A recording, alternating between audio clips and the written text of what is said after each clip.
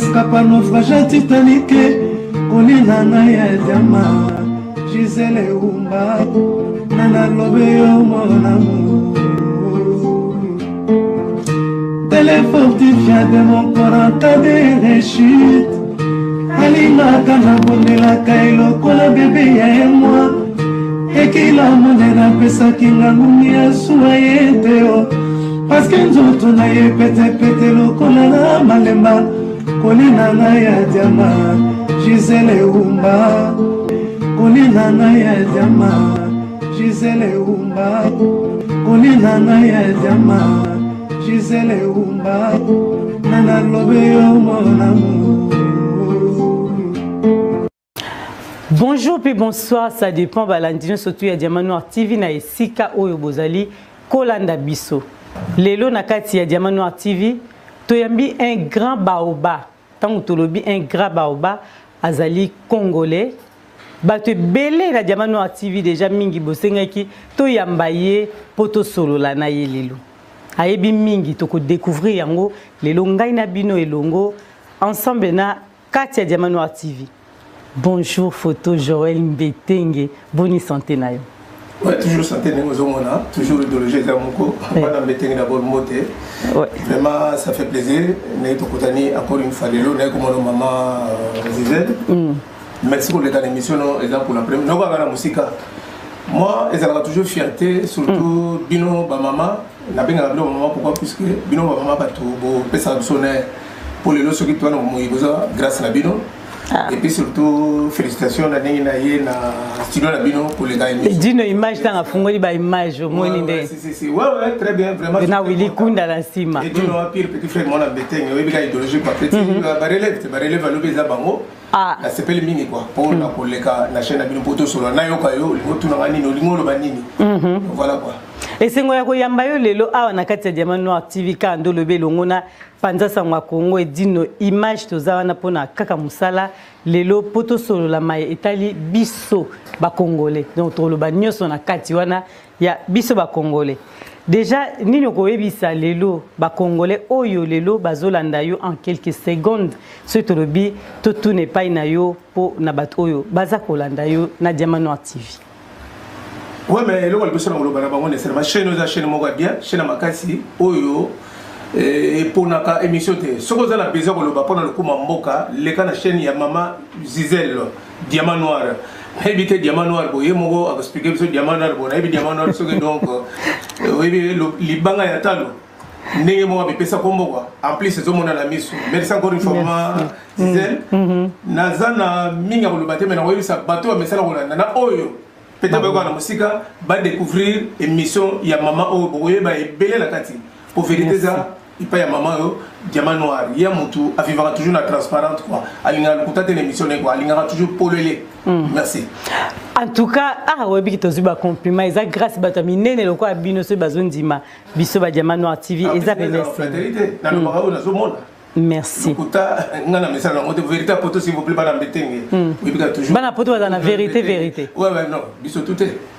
verita poto eza foto joel mbetenge bana mbetenge bayebi edino andimi yango na nsima kuna eza bongo na poto vraiment bato ebele lelo balobi oza un grand homme surtout à plusieurs casquettes ndenge bayebisi biso na diamant noir tv lelo joel photo mbetenge un homme d'affaires joel photo mbetenge un entrepreneur msn de toi même nini oyo lelo peuple congolais okoki ko se définir nako se définir na miso na pourquoi parce que bino bayebi mingi omoni kobandela kolobaka okoki ko se tromper okobuka lokuta vaut même mokili eloba na place no quoi alors ndenge bozotala ngai bino bato ya poto euh, naza na mingi ya koloba te mpo na esplikaka bino kie moi mpo boyebi kie photo joel mbetenge na mboka oyo esali mwa mikolo ebele nawumeli na mboka oyo oyo nasala boyebi na miso ya bato emonana kwa donc ntina bota kospikaka te ngai boye ngai boye wana ekomi eh, se ya koloba eza bien biso toyebaki te toyeba mbamo entrepreneuryebinga photographe oyebi nga nasala mm. barestaurant oyebi nga nafongola baboutique nazala parmi le premier producteur ya bacassette audio mm-hmm. oyo ya video lelo oyo na poto batala nalobaka lobaka yango eh, mingi na bemission kua awa lokola epana na loba te yango na pete na kobandela mais kobandela trop ko kose repete kua donc voilà boyebi oyo nasala parmi bato kasete liboso congolais atala na ndako na ye ya biso bacongolais nalobi te ye bakasete existaka te hmm. ngambo na réalisa yango ah. nasala baproduction ya bato ebele mhm. doto mamongo ebandi mpenza ninga na ye na ngambo na ye na poto ata tolaki tolaki na photographe te tolaki na photographe te makambo oyo bakesala mariage bakefilme ezalaki te c'est moi qui introduit ça dans la communauté ah. parce que eleki déjà mayelo nayaki na monakisasa mpo nga naka photographe bandaki sasa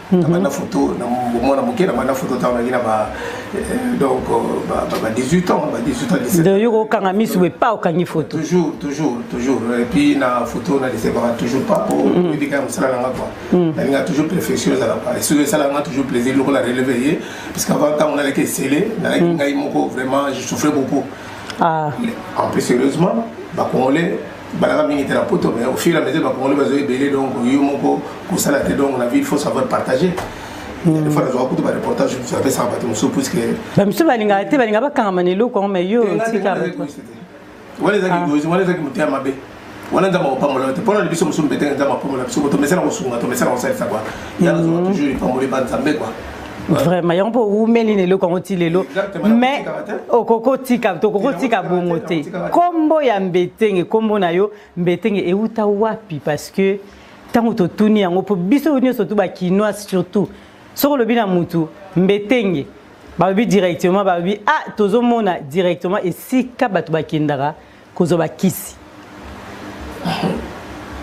Ouais, mais moni question na répondre au chef mais ce tout là comme on a pour déjà mon beteng et ça village mon ça la base là. Mm, les appels va kiss. Exactement les lobby beteng pour sans la besoin makam. Mm. Oya ko soma makam problème là tête. Bino mo mon avec exploit na sala. Na ka te na ka ta poto. Kina ko ya ko loba loba ezate.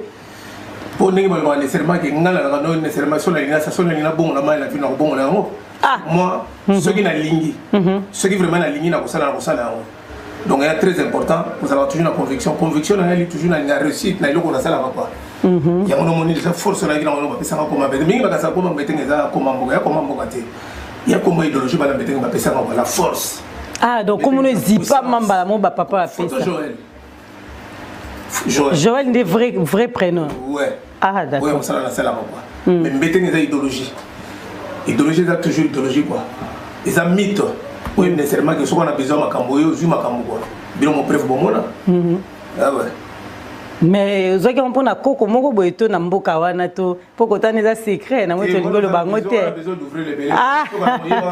merci likambo te vraiment n'est pas bon à dire ah ah d'accord ah, lokola balandi ya diama noir ti bokomaka na se ye moko otanga bacommentaire après émission aoyeba nini tolobi à une période bamusicien presque nyonso oyo ya biso ya bakongole bazalaki kobwaka yo mabanga ebele mpo biso nyonso toyebi yo mpo na bakombo wana batanga batanga batanga mais nini ezalaki kosala ke bamusicien ebele babwakaka yo ndenge wana déjà euh, nazalaki moto oyo na mimoko awa na poto awa nalebaki miziki na biso na matiaki yango makasi kua lepoke ntango tozalaki na poto awa hmm. euh, tozalaka mpenza na orchestre mingi ezalaka awa te ah. poto mhm.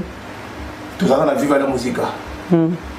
epuis viva la musica wana ezalaki presque kokende neti esala neti ekufa grâce ya bamusicien mosusu ya viva la musica oyo balingaki idéologie ya vieux na bango bokolo ekufa te mpo vieux personal mhm. que vieux oyo acrea biso tout Ah. Oyo, oui, oui. Voilà. Nga na banda photo, euh, oui, bien, na photographe en molokai. Hein. C'est tout à fait normal. Mhm. Tant qu'on vient avec na pota, na obeta, ni l'ero, na vient, na obeta, mimi musique internationale. Mhm. Alors obeta, ma caméra internationale. Alors obeta, mimi musique, mi balé, ready. Na stino. Ana ko sala ba tourna monte na zalo viva ya poto penda par rapport à contrat na ye. Mhm. Ana ko ba o mingi te. Mais si ko. Bona sera ba nyarkos, sera na te. Eh, oui, oui, Narcos azalaka kuna na poto, mais Narcos azalaki musicien viva la musica te. Non, non, okay. ye azalaki musicien viva la musica te. Ye alaki kokompose na kokompose, ntango akompose bandembo, apesi apesi papa musica, azwi banani bakozi mpe bayemba, bayembi, bayembi mpo na ye, mais ye alaki musicien viva la musica te, ye alaki indépendant, alaki euh, ah, parolier. Donc ye parolier akokoma kaka ye. Banzembo na ye kua.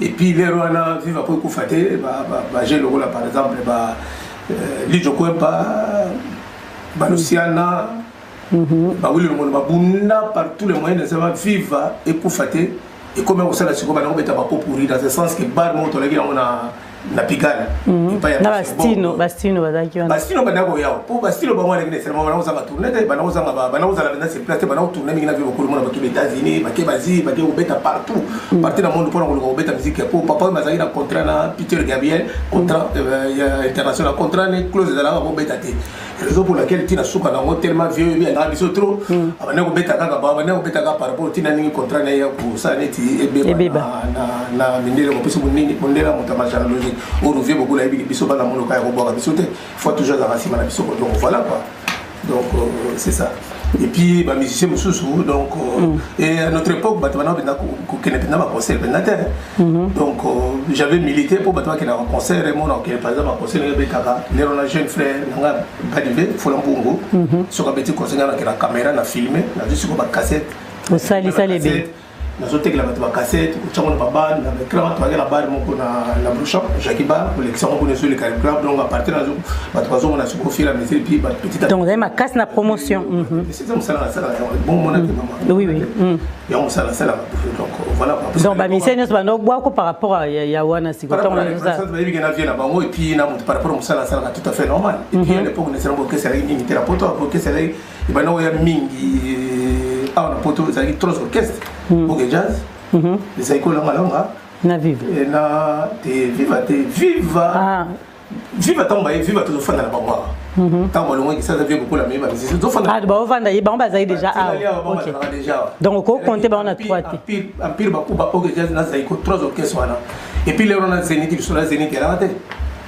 oyebi place na obeta wapi ezali wapi ezali ah wana oui ok dans les années 20 80 lero naleki na esalama na poto toa mingi te mati soki par exemple ke oke jazz aye na avril na juin moto akoya par exemple zaiko ado banda oyokanaki nga nakendealeki ndenge wana baza pire bakuba eye par exemple à l'époque lero wana bato bauta ba belgique bauta ba province bauta ba allemagne baye bango to bafutufutu botela mpo otala toujours concert mhm. circle vert eza pepe ndenge moko na grandeur yango eza pepe ndenge moko na zenit na zenit kua bayebi yango te naza kospike mpo bazala mingi mhm, bakota te kua mhm.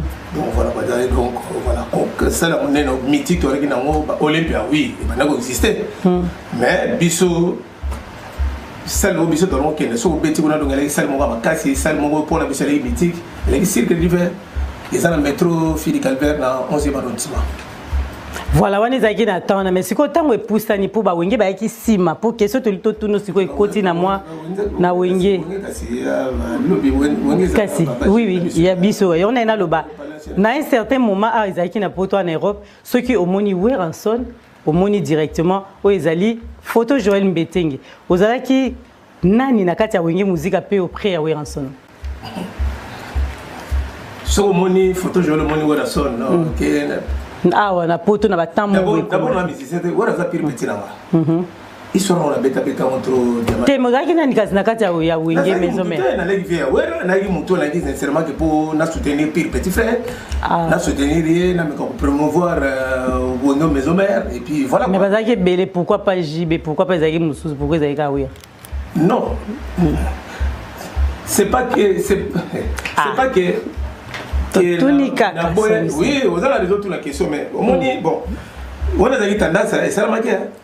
tendance esalamaki bon eyaki ndenge wana ya makambo ya nzambe esalaki na esalamaki epuis euh, hmm. na epoko na baconflit na bango rivalité alaki makasi conflit ya jbe nango na bato mosusu bayaki yango na mosika awa na poto mabala ebele ekufa bato ah, bakamba ya wi c'était chaud bato mhm. bavivango fo vivre réalité bana mbete ngo bavivango bayebi idéologie mhm. bana mbete ngo bavivango bakotémoigne bakotia me bacommentaire na se c'est très très chaud à l'époque nécessairement ozomona ondire mabele ezoningana poso ye des jeunes oyo baboujaka mpenza paris tomona baorkestre ya hmm. bavisa 80 euh, le grand mopao en plein succès de mene ya babozi boziana mais bapetio na bayaka na eloko moko ya ah, makasi ah, te bamystike bamisi baya eloko moko mpenza basekwaki mpenza paris kua basekwaki mpenza paris kasi na totuni yo sikoyo na nkombo wana poi ya nkombo ya joel foto mbetenge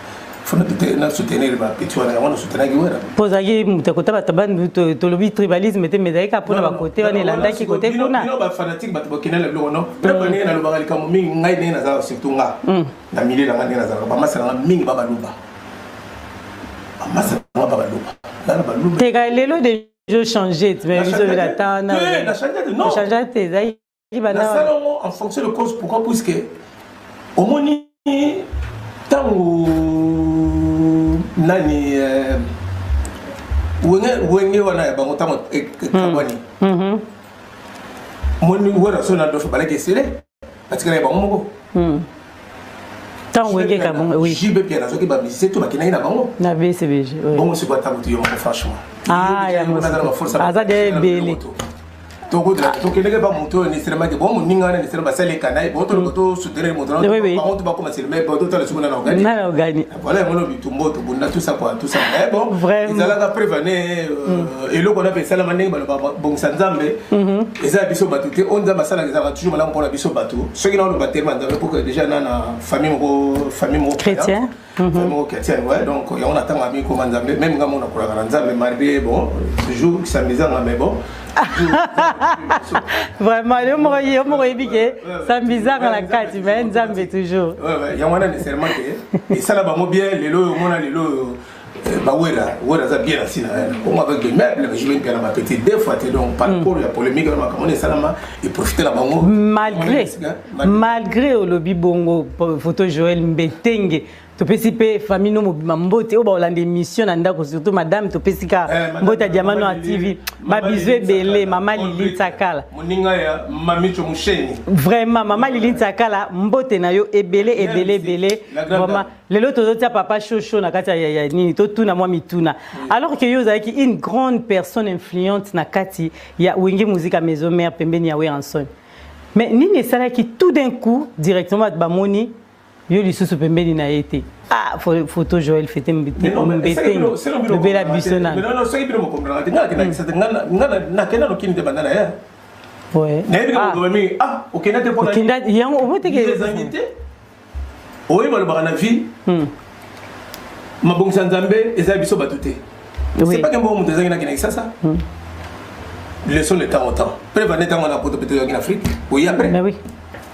oyape na ntango oyaki mm. ngai mpe nazala ntango nzambe akopambola nga nakende mpe kisasa c'est pas que faute d'argent non mbongo euh, mbetenge na ezali mbongo kutu ezangi te mais mm. bon euh, esali ke oyo nafanda na kisasa ngai nazalaka wana raison moto avanda na kisasa ezalaka yango esali ketokabwana oh, biso bato tozolanda na miso na biso emonaki pa question oyo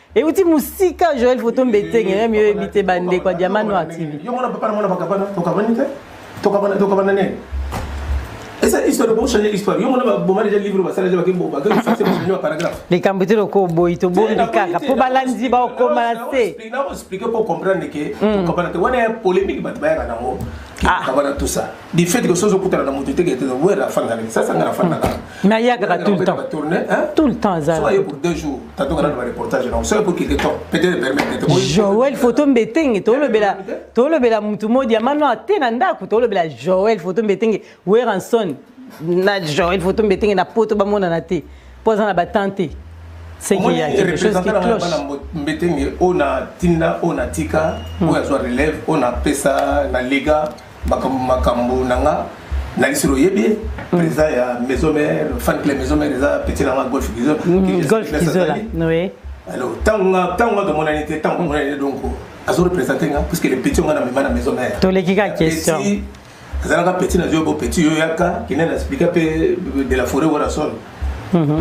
expliquer non voilà soki naza te lelo petit relève ye nga mpe nakoli te mama nga mpe mapeti tondimi kaka te tobombi kestion mba mosusu tokozonga kaka nango likambo te balanda diamani baboti ba j'aime ebele ba j'aime ebele parce que boyebi ke émission so tosala boye esengaka vraiment j'aime na yo mpo bandeko bandeko bazwa information juste okoti otieli biso pouce ekosala biso mpena malamu mingi mpo partage ezala surtout bopartage video mingi baza na besoin bayeba mais biso tozwi occasion mpe ya kotuna même si bolanda yango bokoyoka yango lisusu malamu mpo baquestion oyo kaka na diamant noir tv tokotuna na niveau ya connaissance ya vraiment musical oyo oza nango avant ke toni tokɔta na mwa moke na politique mpo toyoki mpe ke okomi politicien mais totunaka question vite fait tokɔta na oyo ezali makambo oyo etali politike vu connaissance ya culture musicale oyo yo oza nango pourquoi okotaki na badomaine ya production te parce que toyoki bongo production oui, musicale na biso mpo na kopesa coup de pouce na musique congolaise mais obandaki oproduisa neti nani concert ya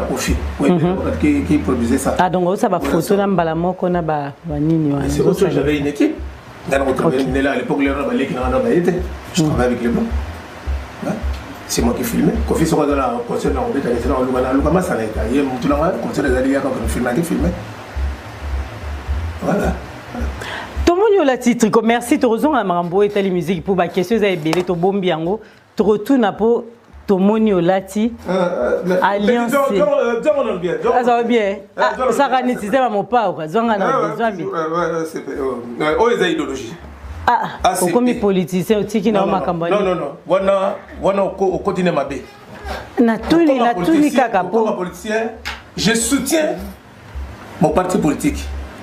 Parti na yo. Il y a, il y a, il y a ACP, Alliance des Congolais. Autor, autorité, Morel Nabiso, mm. Gentili, Ngobila, mm -hmm. Baka. Très très fort. Gouverneur. Gouverneur Nabiso.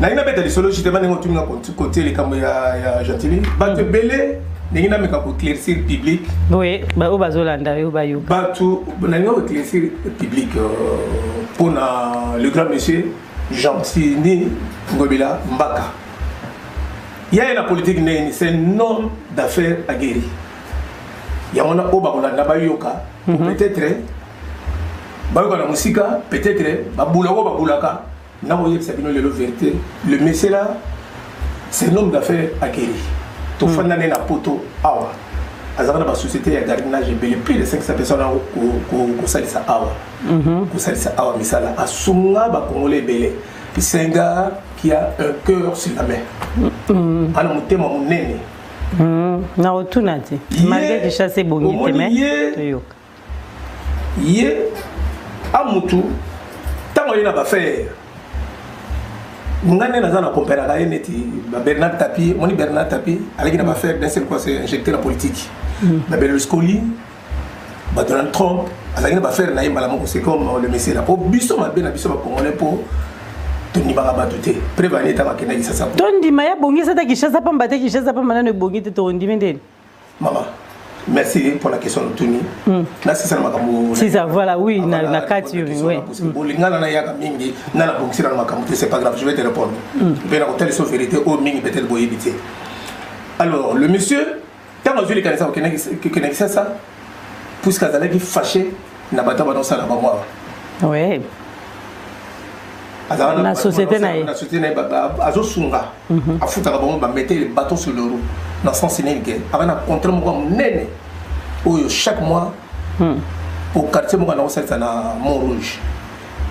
oyo elaki mpenza bato bapetio mpenza oyo bavoyo bafuka na kosala trouble ye moto amaîtrisa na bato na bato na bana kosala epai na bamaîtrisa mema mpenza bagrand maître ya makasi bamaîtrisa kuna hmm. contrôle bana kovaleur peut-être dans le plus de 2 millions 2 millions de francs français par mois oui mais contrat ntango akufi motu moko kaka moto abongisaka contrat wana Et puis ndenge nakoloba ndenge akoyoka soki akolanda ngai ayebi hmm.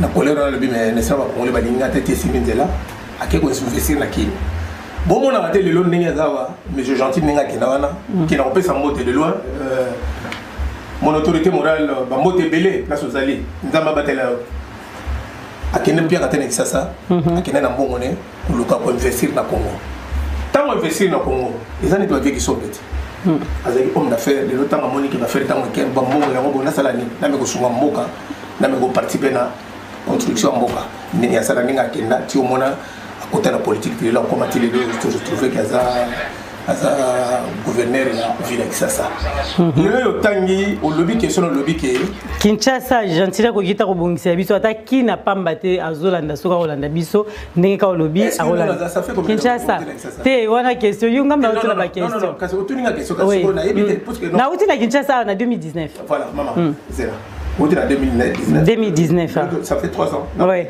Mm. Na côté victoire et Boukani Penzezo Mona na même pas. 2019. Mm. Il y a côté le pouvoir ça fait combien de temps Ah, yo mutu faut yebisa biso nga mna otuna baquestion te mai nga na otuni kaka question yo sikoyo explike biso ezo tuni eloko omoni eloko nalingi nayebisa bandeko na biso bacongolais hmm. to bakosala part de choses moto asali gouverneur azali na kisasa mhm. asali presque 9 ans ou 10 ans na gouverne ville ya kisasa mhm. oyo azwa meme likanisi te lelo un jour azwa ata brika pamba atya na nzela hmm, oyo azalaki liboso nani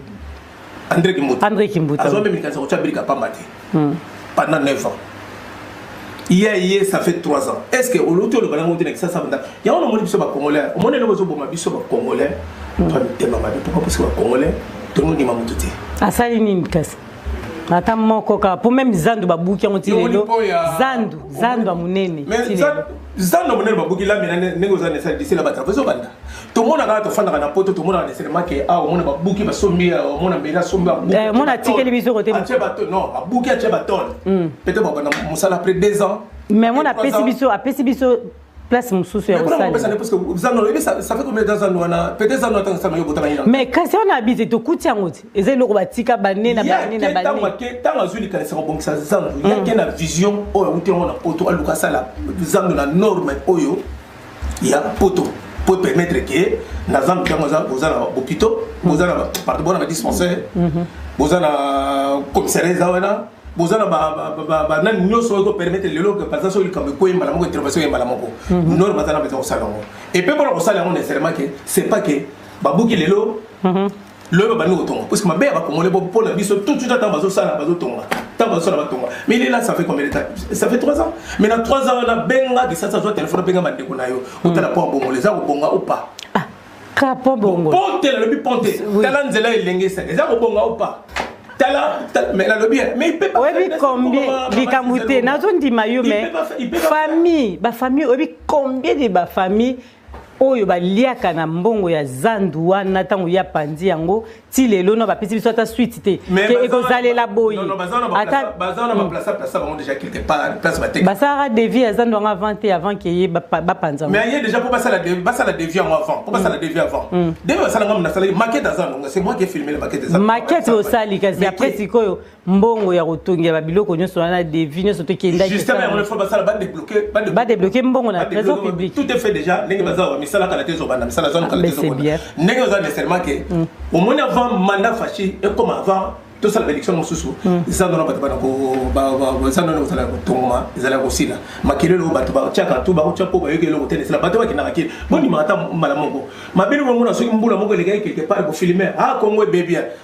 tomonaka bamai ebimaka ekulaka mona bandako ememi bato bakufi ndele atyaka video na, na televizio te alex bato atala kote oyo no kote ya roi bamboka ekufi oui c'est normal mais bakenda kobongisa mai eza makambo akenda kobonga mai eza makambo banza mai ti sikoyo bato mosusu yali kobongisa ezwaka combien de temps oyebi ke place toyali ya neseremaki bamai bamboka mosusu ndenge eza ti lelo ndenge eza bandako na bango eza inondo tisolo bamai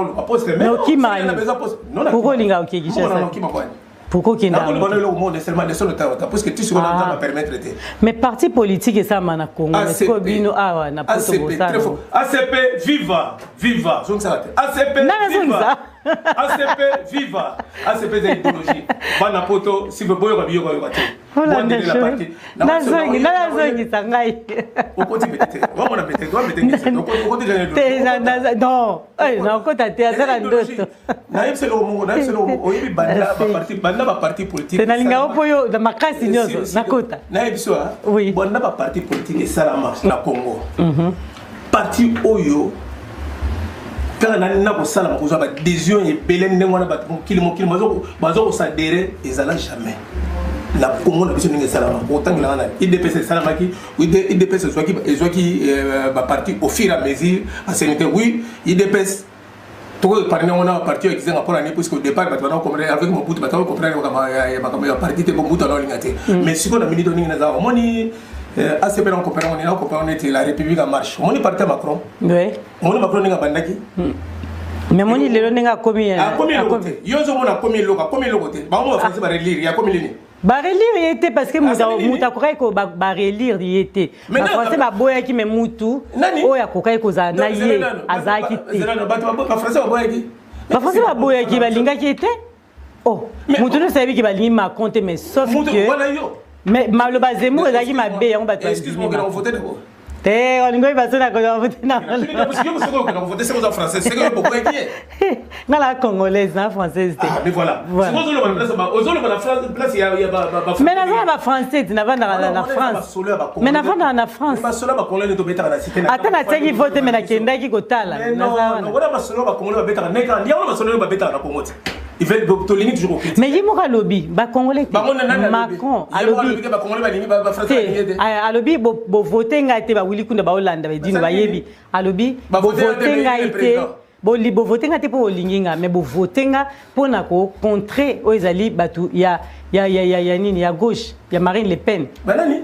Pendant contre bato badana bato mais ça c'est une façon moi politicien sur sur la ligue na liboso yo wani président ni yango ba voter que moko ba voter à part ba président biso le contenu ba kosa na kisata que oh gagner 100% 99% ah bato baleka na opposition tant moto o gagner dans 50,50% o gagner gati eza combien on a gagné eza makambo kosa te ya makambo ya koloba te ko gagner ezaka defo ko gagner eza malamu okati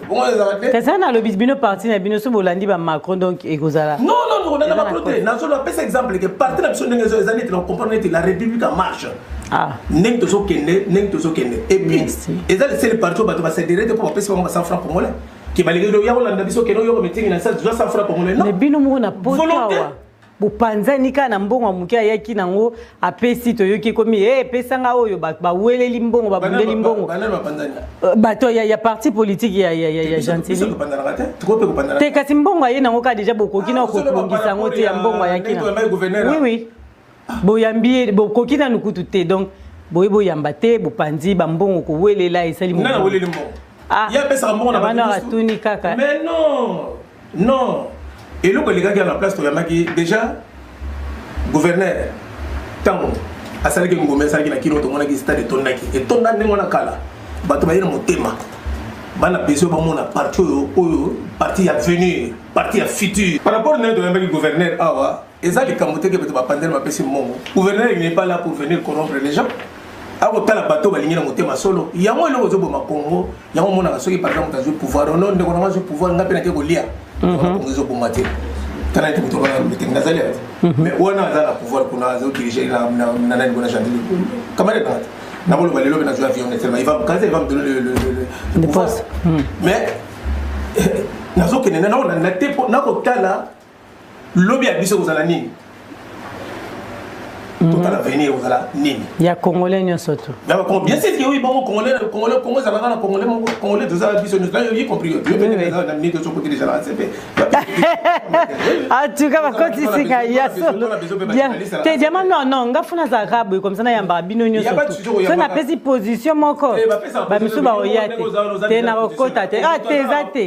moto azaka na position eh, na na position ya peuple ah, congolais na na nsima nalingi ke bagentini wana basala mosala bien eh, bazosala mosala mabe ah, merci na ye esika alandi biso abongisa yango wana nazobeta sete hmm. na poto mhm. bato ya suisse bato ya allemagne hmm. Euh, bato ya belgique kutu déjà na parlo même pas puisque badesose ebele biso bato ya paris bato hollande alisaul place wali na poto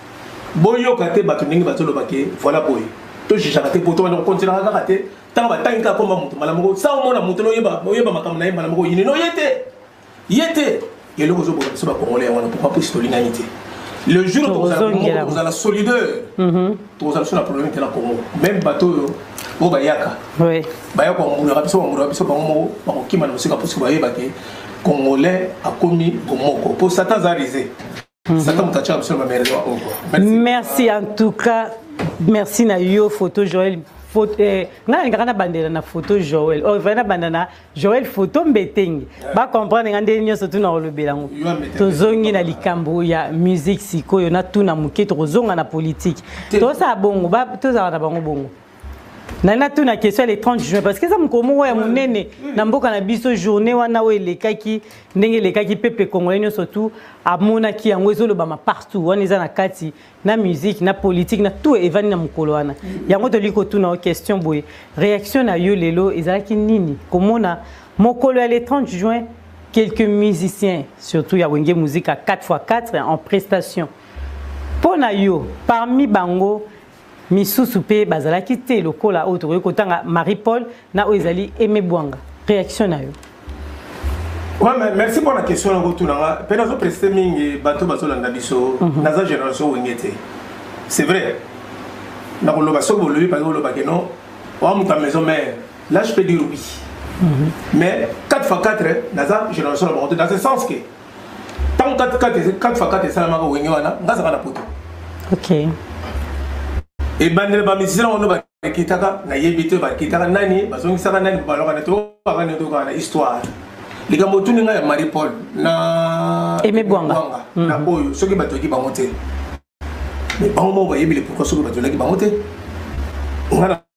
osingele na makambo nango puisque na makambo econcerne complétement bango question na soki otuna vo motuna bango puisque ngai na korépondre nini hmm. puisque nayebi fondement nango te nayebi ndenge euh, bandela te totoli komona parce que ntango ozomona mosika oza congolais euh, na sens wana totuniosuka nango omoni bato bazokomande kokomante hmm.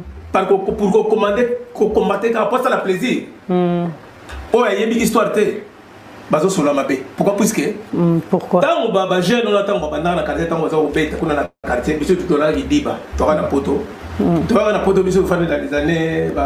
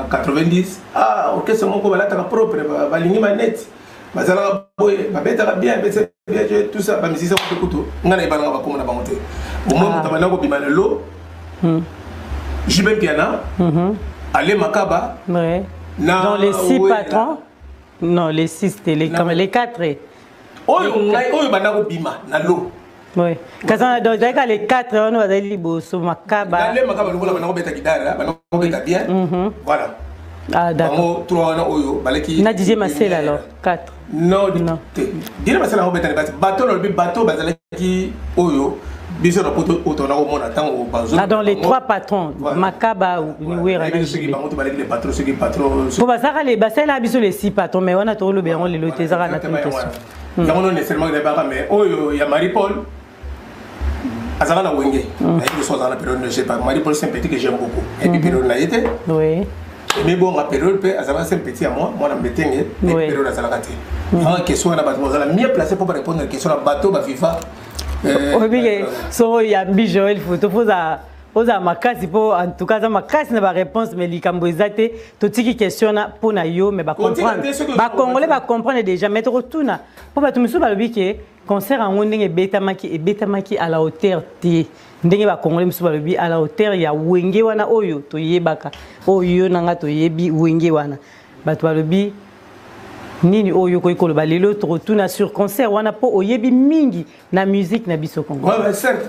oui concert wana ndenge na koloba parce que ngai nalobaka na mesana yango tyama ye na monoko te concert wana franchement entente ya population barepondaki présent hmm. omoni soki bokabani na mwasi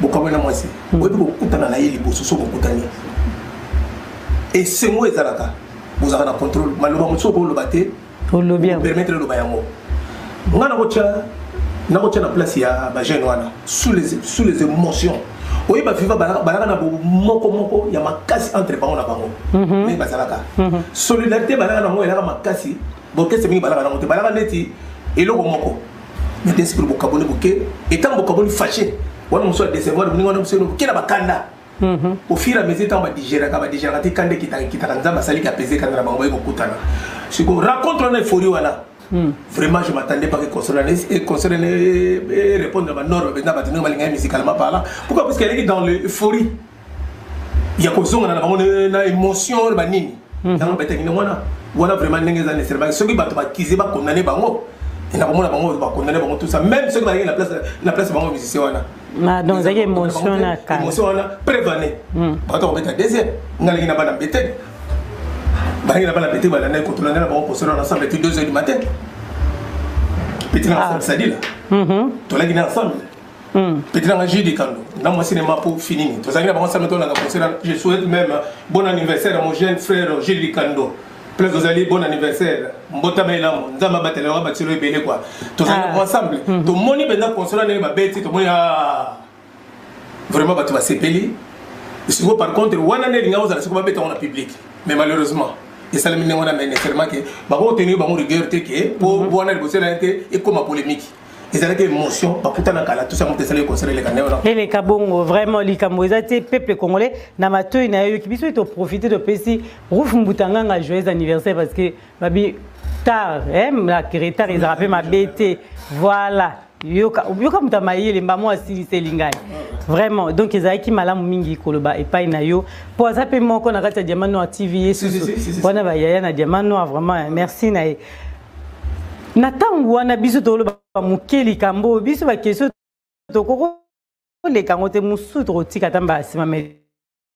tokotuna oyo joel photo mbetenge ntango ozalaki vraiment au four et au moulin na musique congolaise du coup oyoki diaspora baboyi musique ebetaka ntango yo oyokaki yango omilobelaki nini mpe demarche nini oyo yo osalaka mpo na koluka ko décanter oyo ezali situation yango na ntango wana kodécanter na ndenge misiki ezoko hmm.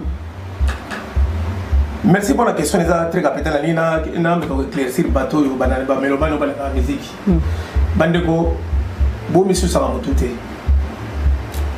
omoni nzambe ntango alingaka boma mokili na ye ayebisaka noa asala arche babato mosusu batikala libanda badina dina bamba eti basala bato mosusu babombana ti esalaki bo mokili banda ezongela vie omoni makambo ya miziko ndenge ekufa bato bakomprendre yango te eza makambo ya nzambe omoni kolela peuple congolais mhm. nzambe ayebi ke na congo eloko nde banda kosala biso defo a certain moment tokobangi na poto awa soki miziki eye bana na biso bakokima bandako lelo bato mosusu mhm. na bajeune fille mosusu bakende kuna na bamagasin koyiba bilamba nabeta basheke bakota baprison tout ça mpo na makambo ya nani ntango tozolela na bamama oyo afanda na ndako bakota bana na bapapa bazolelelaka buta nzambe ayokaka te nzambe moto ayokaka te mhm. yango namoni eloko ya musike esalaki neti musike ekata na mbala moko ebandaki wapi ebandaki na londre hmm. ba pionniers oyo bato basalatosa ntango nzambe atouche bango mhm. ekiti ekiti belgique ekiti epa na biso ti lelo esalami ke miziki eyebana kobeta te hmm. lelo baforcaka par tous les moyens eloko na regretaka na reproche ya bamisili biso bakongai basalaka bras de fer na peuple te basalaka bras de fer na peuple te hmm. peuple aganaka toujours omoni eloko na reproche baartiste na biso congolais bazala patient Prévenez musique na bango yango toyokaka na bafeti soki tokenda mhm. feti tobetaka toujours prévenez omoni te to na besoin ya musicien na biso toujours mhm. mais eloko oyo nzambe oyo apekisi mpo makambo ya misiki ebeta te eza makambo ya nzambe nous on a combattu parce que nzambe autiliza biso mpo tocombattre misiki ebeta te par rapport ya makambo prevane omona ah mais yo moko ozali moto ya misiki Mais bien, bien sûr que non, non, non. Mm. Nana lingaka vérité. Place mm. on a dit que intérêt pour le peuple. Peuple, oui. Intérêt peuple, ça prime. Oui, bien sûr. Nakozala te ke pona loba naloba tout ça ntango balobaki na seulement il est bon que musique ebeta lisu te mhm. il fallait n'appuyer c'est ce qui est normal ce qui est normal donc yango na eloko esalaki nécessairement ke soki par exemple ke ebetaki te ezalaki te ke po po sungulu paka ou bien chef moko ya combattant ou bien combattant daya na combattant chef alaka te combattant bato mosusu kuta na molili bo bato tomonaka te mais mabe na biso ya musicien na biso ndenge bamemaka na brin de fer bolongolaka brin de fer frère basere nanga bafrere nanga babeta musique bolongola brin de fer musique ntango kozonga nzambe ye moko azongisa yango naturellement mhm. kaka ndenge esila omonaki te ndenge ayeke bandenge neti je bandila londre eh, pouf mbala moko ntina tozokanga bobeta te bobeta puske nzambe alingi bobeta te bososolaka eza makambo ya nzambe prevane ntango mhm. toleleki likambo ya bana kota na, na, kota na facebook Claude yo ntango baproclame baproclame examen na bango awa babenga bak tala bapapa na bamama comment ils étaient contents o à l'époque ntango miziki mpenza ezopesa na lisata mhm. mpenza kotaki na kati sata mpo sata azala reza akotaki mpenza na kati mpenza abalaki biso babongo bana kokima mandako bana kotrouve ona garde mosu aza na mwana mosu na pose papa nani oyo musicien moko ayaki asete mpo oluka mokanda azongi na lisasa ah, bakoma ye mikanda bana bakoma ye mikanda yo sikoyo ozwi charge hmm. wende obokola mwana papa kuta aseti papa mosusu kuta kenda bamema ye lisusu te mwana ozwaka mwana moko ofele ka nde wana mais non ozwi na ndako voilà yango nomoni hmm. oyo lelo nzambe asalaki nayoka yo kolela bapapa esala me yango wana sikoyo nde nayebisa ndenge na kosolola banani hmm, bamisisile hmm. bose prendre na bino na tete te nous on est pour la musique neti nga nanga musique parce que mosala yango nasalaka nasusa yango toujours na musique mhm. mais nzambe akozongisa musique jour akozongisa yango toyebi te alors c'est pas la peine ya koloka komema bras de fer ono oh ndenge elekaki tokobeta kaka me kobeta kaka bato wana sikoyo ntango bazoloba non bozoko avenime eza citation ozala patient bon finalement bobeta kaka na grande bretagne na certaine ko connaissere bakipanda 20 ans ntango makambo oyekela te 20 ans esalaka kuna misiki na bango ebetaka te bakufaka te ovivre kati kasi kofi oyo olobi camarade na moko ye moto awelaki azo ya kobeta sikona na laurent sokoko eh, laurent sokoko makambo laurent sokoko ye azaka na ah, ah, ndenge ayebisi biso ke ye moto aza grand combattant ye moto abetisa miziki na poto ye moto eh, oui ndenge te oh, camarade ya kofi olomide ti bazosala na kofi yo sikoyo lokoza camarade ya kofi eh oui kofi auti pa na ye tomoni nango nga nayebi te lora sokongongo puiske la bazolobela ye trop mm. apesi boketch mbongo azongi soki ndenge nini mm. apesaka bakombata bambongo bongo nga soki nga mpe nakombata namonaka ete mpona ye moto ya bambongo ebele ya kopesa te bato nyonso to pourquoi comment salir les gens comme ça soki nakoki soki ozala mambongo na yo boketch atinda oyo opesa mbongo te aforsango na makasi te yaka apesa ye mbongo ntango mm. opesaki ye bato bayebaki te mm. mais sikoyo nayebi te so boweleli nini mbala modo eseli bobimisi na écran bopesi boketu mbongo bopesi soko olingaki mosalape apesa bacombattant combattant apesa apesa nani combattant apesa nani combattant ngai na combattant mm. ngai kutu nayebi te soko aza mondele soko aza eh, indien te aza congolais aza nga nayebi ete nayebi ete ah. abina mamba fali mta apesa ye mbongo nyonso te mta apesa lokola aza na mbongo aza généré oh, abanda nani kokende na congo akende koluka abongo mhm. na meme na est apesa meme basoda basomba minduki po oh, lokola aza na mbongo ebele ça c'est de n'importe quoi mais c'est sokoko zala posé koya na bavandi to distraire bango tous eza badistraction bato ntango bakomi na momo baloba kongo ekende liboso il faut kaka eloko moko ya mpo ya kodistraire bato tout ça c'est des futilités ya makambo kolanda te opesaki yo mambongo ya pas de problème parce que t'en avais beaucoup ya pas de souci eza neti okabeli moto mbongo na balabala mabe eza mabe eza kokomela yango te koma oblige ke oya fo telema mpo ngai nako kuna kopesa bakombata mbongo oyebi ba tu sais les gens là bato neti bana londres hmm. comment ils ont souffert mpo na likambo ya komba oyo etelema bato bana belgique comment ils ont souffert bato bana paris comment ils ont souffert est ce que yo opesa biso mpo tokende kosangana opesa biso transport amarete ah, mais c'est sukosuko déjà neti ngai oyebi nongo te nga oyebi no nga ah kombo joel foto ayeba te ayebi te ye azala kuna mola moi je sais pas ayebi te nga nga nayebi te je sais pas tika babiloko wana koluka bapolémique wana kofi lelo un jour kofi adi frère na biso andeko na biso aza misisi na biso congolais asala bonheur na bonheur na miziki na biso congolaise hmm. soki lelo kofi aya kobeta na congo yo moto okoya koblige kofi teke okobetaka na congo kuna ogitaka non soki oza na besoin kofi asali no nzembo wana besoin ke lelo ndenge oza oyebana bokezo pete kobwakabwakaki omoni oyebana eno mingi te hmm. nga kutu na banda kotanga komona eza ntangi yango lelo grâce ya bokezo mpo sokosoko yango wana alors tika makambo wana koya na bapolemiki wana deserembo apesaki mongo ya kotumbula bato en plus na ndongo otanga komoni weye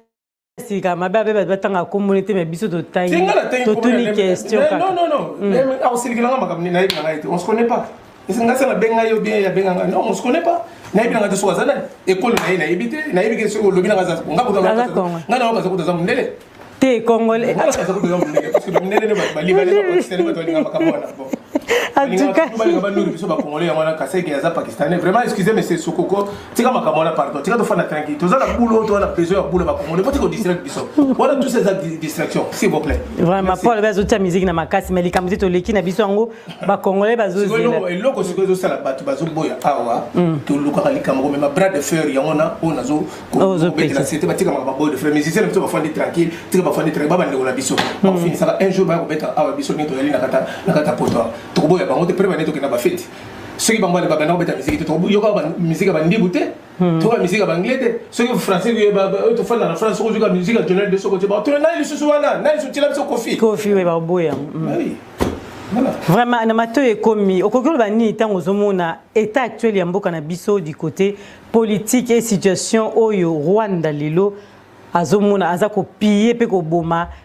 Copier ezali ba ressources ya mboka na biso.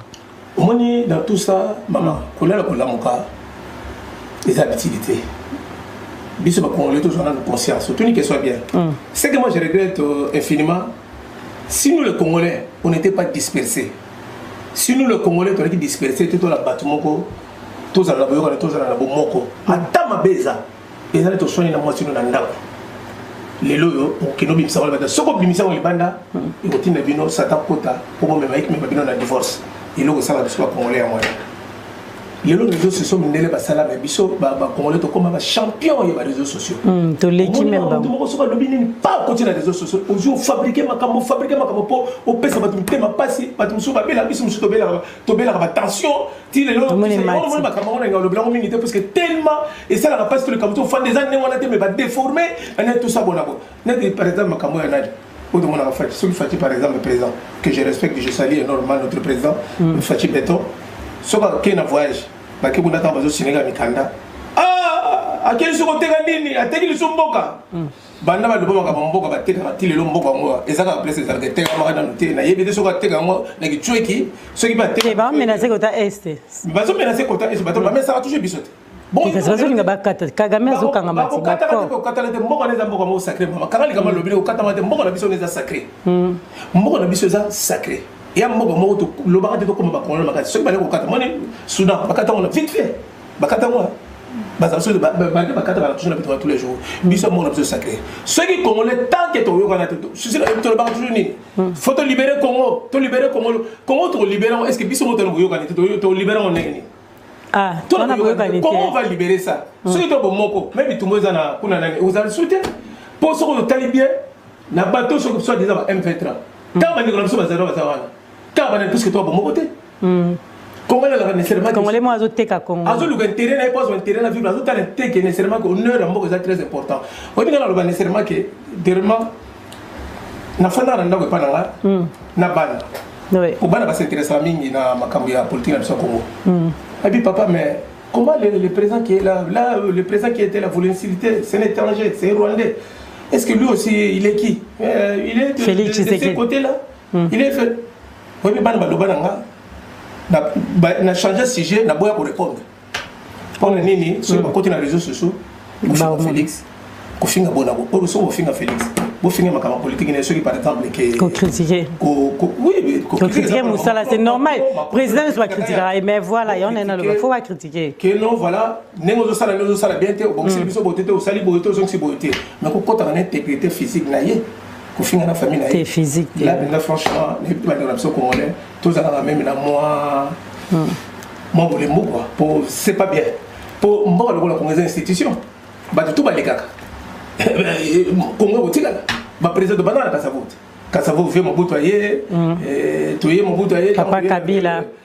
kabila ye bon ye pe lokola kabila fils pe vitesse trop basali oh. sambi zanga milekeli ye ozwa moto oyo boyebaka te mpo nani nzambe atyaka garçon wana basali nani balobana atyaki garçon na euh, kabila mm.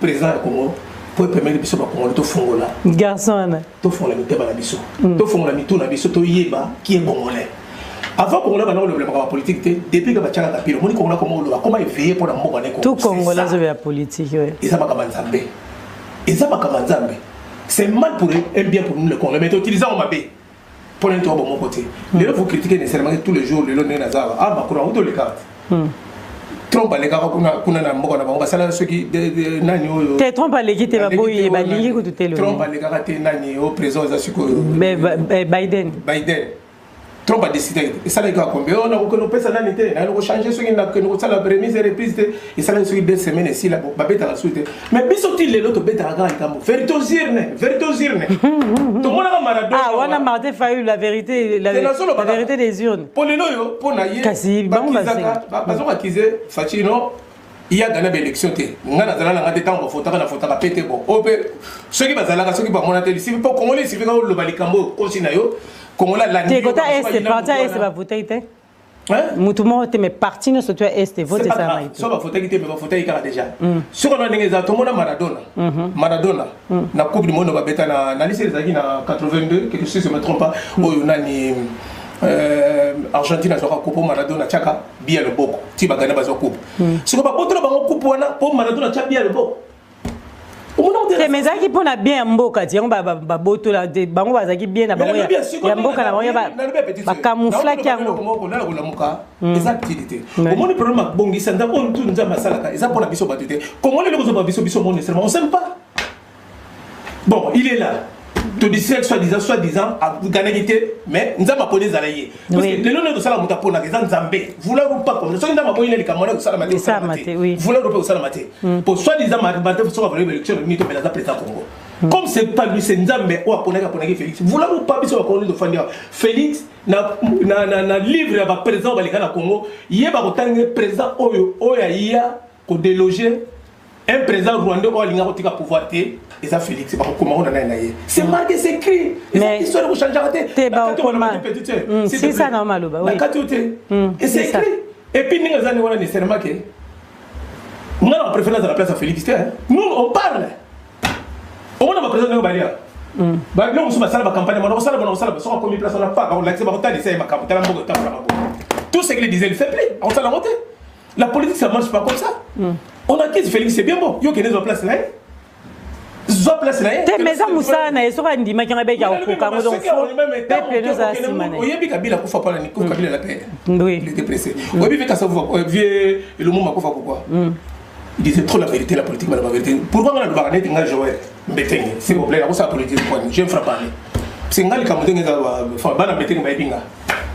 obombaka te obimisa te nakoloba parce que nalingaka na justice te so osali mabe nayebi si okosali mabe c'est comme ça c'est comme ça de tourner page on, on, on, on passe à autre chose c'est comme ça la vie c'est comme ça so olingo vivre bien vivre na sincérité mm.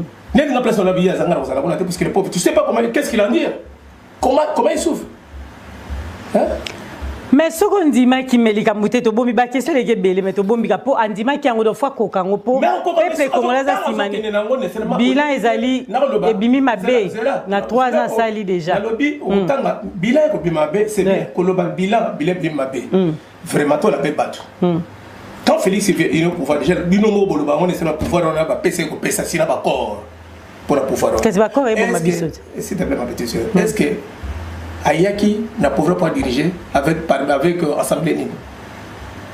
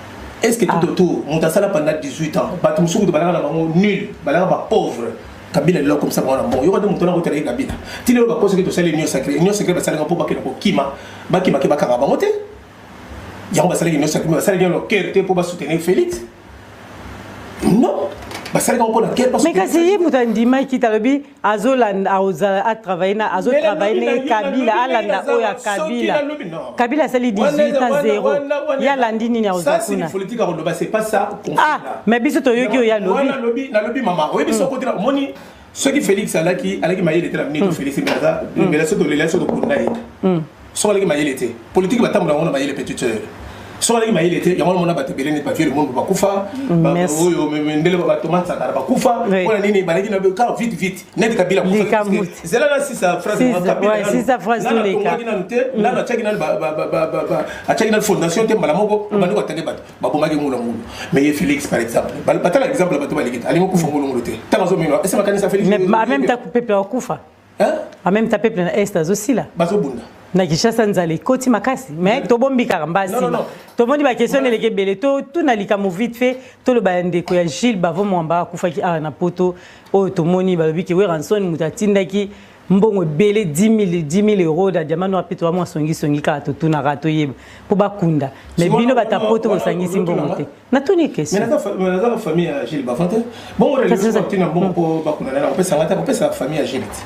Ah, mais bino bato ya poto bato ya kala wana bino nyonso tu bato nyonso tu ya, no, ya, ya, ya poto bosangisi ata eloko te mpo na ndeko akufi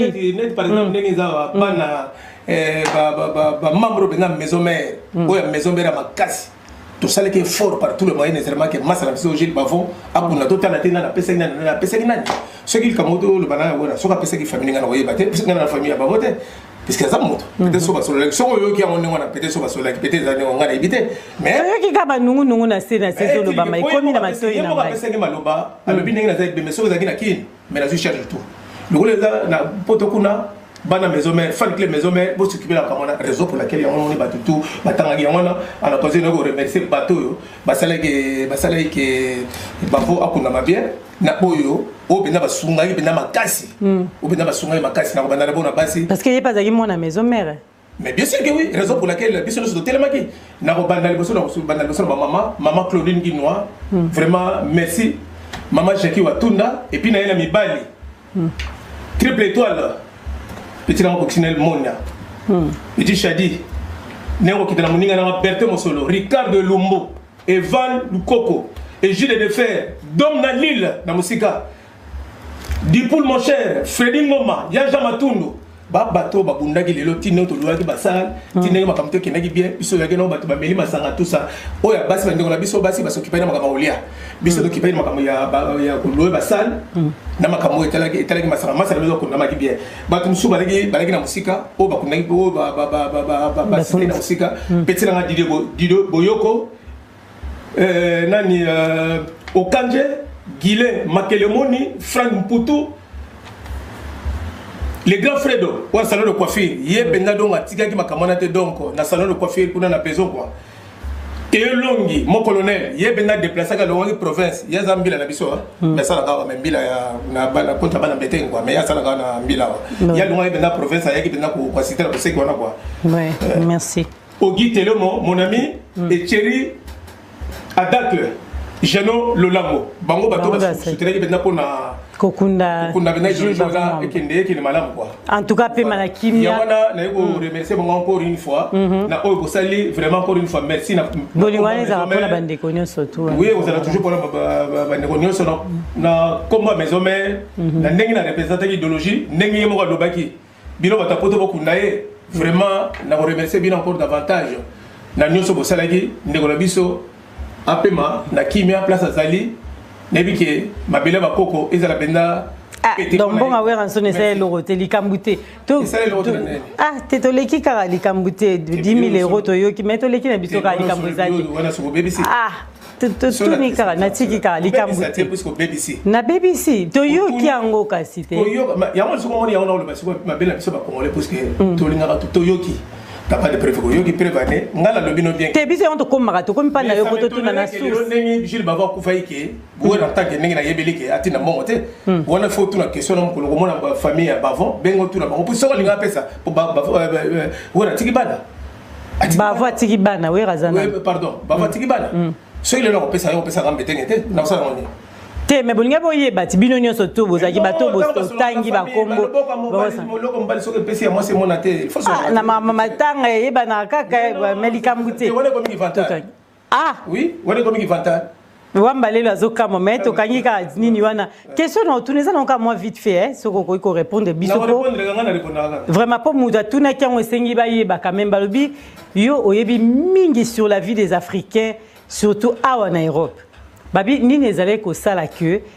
ntango ebandaki kose passe ntango bamusicien bazali koya kobeta baconcert mpo mingi balobi ndenge batindi biso totuna yo mpo mingi balobaka ke ezalaki catastrophe bavol ezalaka mpe bafamille ebele bazalaki touche sikoyo biso tokotuna mpano explike biso nanu ata na mwa mokuse kaka makambo yango ezalaki kosalama nde nini vol banani bakoyiba bato oyo ya bato awa bazoyiba voila babi ezali catastrophe makasi surtout na éducation éducation mm. babotama nango place owuti oui koya na poto olingi oloba te ke tu vas te permettre tout otiki éducation ba papa na mama mm. babotela na afrika yango biso mosusu to na éducation nga mpe na moi j'ai des enfants mm-hmm. ngai na na bana masi nanga berite mosolo aza na bana ricardo aza na bana mm. bakende jamais ko se retrouver na situation wana mais est-il que eza na basi mosusu amwasi ya libala neti musicien hmm, yo mpenza moto wa normal donc oza no bon musicien bolokola osepela na musicien wana oza fanatike na ye omemi yango ofanda na ndako na yo moza na mobali na kati oza na mwasi na ndako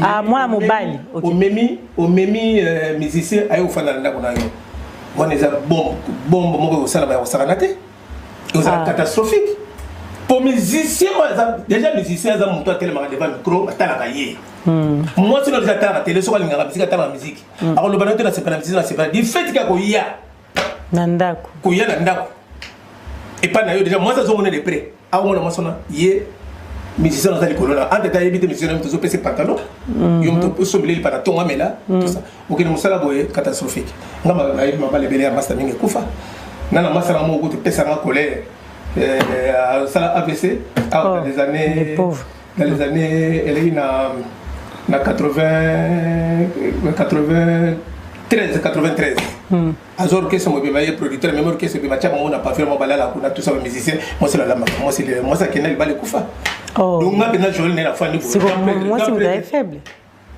Bon, bino basi bola liboso makasi. Na évite.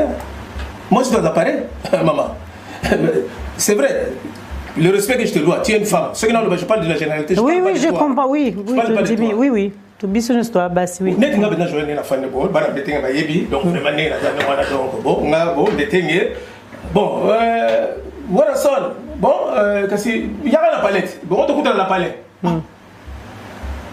est ce que nanga normal ah kofi sala mia mwa kofi ebo dieu merci kofi aka ndako na soki akenda ba ndako na ye akenda kolala epa bato te akenda epa bato te rare mm. ye ke soki bokuta bokute na barestaurant mm. ete kofi ye na mia mwa omemi na ah, ndako mopa mokonzi déjà bana na nga bafanatika kofi mm. mwasi na nga koloba na nga te alingaka kofi aye na ndako na nga déjà banimero ntango opesa bango oyeba te po déjà complexe wana infériorité akozala nango toutes les femmes je parle excuse bamama na koloba na koexplike vérité puisque naza na bapreuve hmm. nazokosa eloko te nalobi mpe teke bokosala yango nalobi teke bokosala yango hmm. mais c'est très dangereux moni mibali oyo balaka nécessairement ke ngai na mama sasu bakendeki sasa bazala dossier ya musicien mona bamisicien camarade ntango akomi na porte asone porte musicien azotuna boyefongole bakotuna miyo nani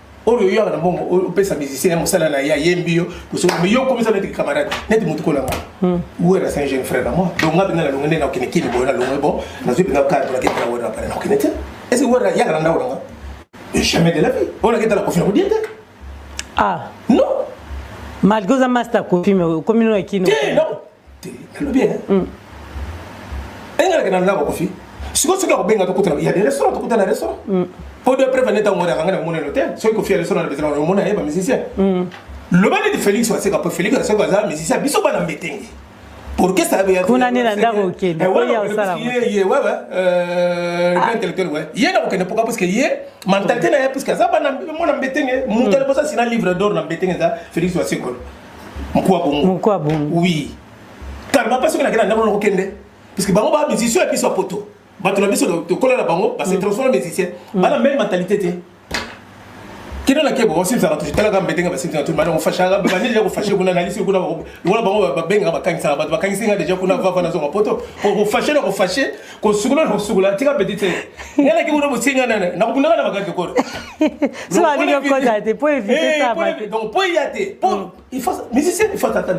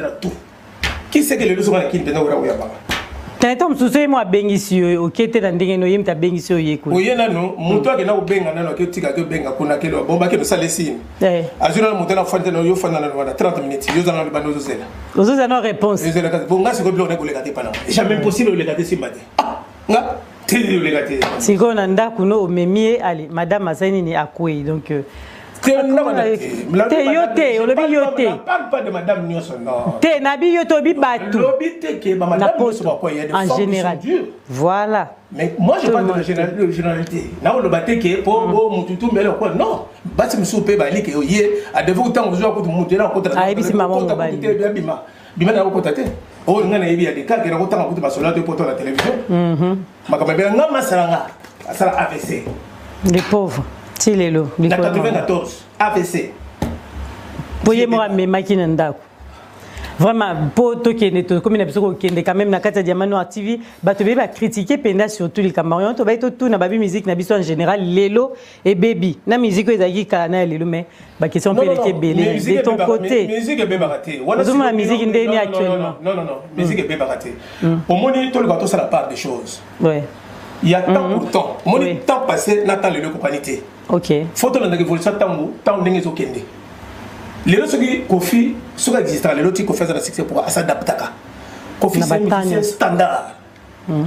ye soki pièce ekotaka te pièce ekokota mm. asadaptaka musicien yango namoni kofi ti lelo oyo il est toujours en vogue il est toujours au sommet mm. contrairement baninga ne mosusu pourquoi basila parce que basadapta te musique ekoma kokende na vitesse ya kosakana te oyo liboso ezalaki ndenge wana teme baoki jazz toyoka yango mpe kaka bamiziki oyo akala wana mpe ezalaka toujours leloyokaka yango eza mene évolution ya miziki ndenge ya kobeta mpenza boye wana toyoka yango mposke wana banostalgie tout à fait ah. normal bamiziki mosusu basala badiske awa ndenge eza baebele basala badiske sotangelanga ta musicien moko oyebi diske na oyebi kanga na commentaire boyebi mais musique kaka soko lobi ok jazz oloba mamo na lelio ozalaka no très impoli otangi ya ya vieux tabule maze maze otangi ah osiko ba musicien mosusu ya kofi kotanga ya fali kotanga héritier kotanga petit fere kotanga ba musicien mosusu bon mpo na efase bato to mosusu nécessairement ke nayebi te Eh, neti moto na nga hmm. euh, félix fimbu tobina yango bana ekoma so batiekaka bi fimbu fimbu te bana misusu mpe bajeune bazoyemba mpe bie babina file tozomona baoyemba baobeta mpe miziki na bango ezokende nango wi ezokende mpe malamu mais bon tosuki na biso wana tikela bacongolais ya motuya ka mpo na lelo mpo te me bacongolais oyo bazoyoka yo na sima ya caméra ya edino image quand même ndenge afilme opesa bango ya motu ya basaelamaki bolandaka émission ya mamo mingi merci omoni ntango amemi nga lelo mbetenge na kosala émission awa soki nandimi na ya puiske sine dame oyo azotambola na bosolo azosolola na ndenge ya bosolo mpe bemission ezalaka bemission ya polémique te omoni banda tofandaki awa alobi likambo polémique te mm. tolobi kaka verité ndenge eza yango na liso botalaka biso mpo bolikolola verité boyoka mpo boyoka sango malamu Bo decortiquer makambo ya malamu. Faut bolandaka émission ya mama Diamant Noir. Gisèle Wumba Wumba. Gisèle Wumba. Bois Noir mwina ngolo. ngabe mwasi nanga aza mwina ngolo en tout cas topesi babuse ebele topesaki déjà si topesaki ye déjà mama nsakala ya yo mpenza mbetengesi soki mobala wakumisa boye batela libala vraimen owumela wumela makasi merci na balandi nyonso tu ya diamant noir tv oyo tozalaki elongo merci na bino nioso boza partout ba commentaire ka na se ye moko joel photo mbetenge akozwa nyonso tu opesa numero ya telefone te voilà merci bokomaka na bacommentaire aorépondre mais sikoki kofinga te komaka soki osepeli te leka zape pardon s'il vous plaît moto na moto ana idee ozokofinga tobanga oyo eza idéologie ya vie na bino mbetenge nalobi te bondimo nga nalobi mais etilike bobosana te adhesion na acp eza autorise na moto nyonso eza très capital mm. parti oyo la république na marche na biso na congo mm. acp yango wana eza bomoko bondeko bolingo très très fort acp viva viva zongisa kate mama zika ah. acp viva viva acp viva viva merci patro panda merci na merci eric lukasi ok osisi ya mikili ouais ouais natiki pe pesi bango bambuta ebele